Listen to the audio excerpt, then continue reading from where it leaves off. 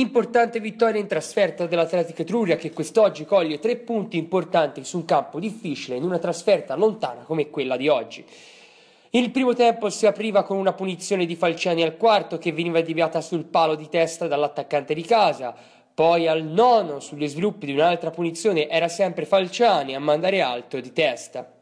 Gli ospiti si facevano vedere al diciassettesimo quando Bonini passava a Verola il cui tiro veniva respinto dal portiere e Tacchetto ne approfittava segnando la rete dell'1-0.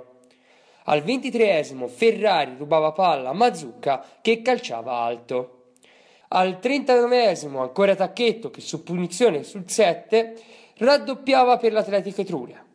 Reagiva l'Alta Maremma che allo scadere al 45 con Falciani si rendeva pericolosa, ridivando tre giocatori e presentandosi in area veniva fermato in extremis da Rossi.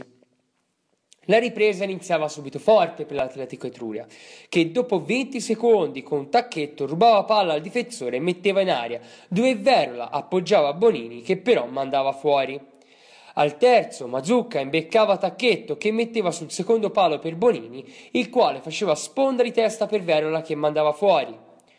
Ancora gli ospiti al dodicesimo, con il sempre presente Tacchetto che su punizione da destra metteva in movimento Bonini, che di testa impegnava Bigoni che parava in angolo.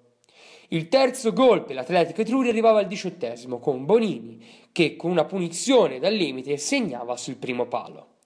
Unica azione importante per i padroni di casa al ventesimo, con una punizione di Ferrari che metteva al centro per Falciani, il quale mandava alto.